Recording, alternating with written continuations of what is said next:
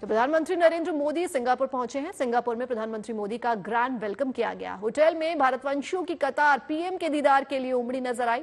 बड़ी संख्या में लोग पीएम के एक झलक पाने के लिए बेताब दिखे।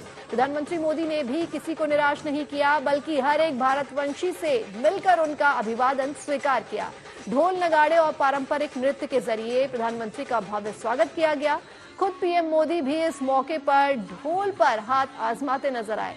प्रधानमंत्री का सिंगापुर दौरा ऐसे समय में हो रहा है जब अगले साल दोनों देशों के राजनयिक संबंधों के 60 साल पूरे हो रहे हैं। सिंगापुर दौरे के दौरान दोनों देशों के बीच कई एमओयू पर हस्ताक्षर होने हैं, जिनमें खाद्य सुरक्षा, एनर्जी, ग्रीन हाइड्रोजन और सेमीकंडक्टर शामिल है। सिंगापुर, आसियान देशों में भारत का सबसे बड़ा ट्रेड पार्टनर है। इस दौरान पीएम मोदी, बिज़नेस लीडर्स और कई बड़ी कंपनियों के सीईओ से मुलाकात भी करेंगे। इस दौरान साउथ चाइना, सी और म्यांमार जैसे क्षेत्रीय मुद्दों पर बातचीत हो सकती है।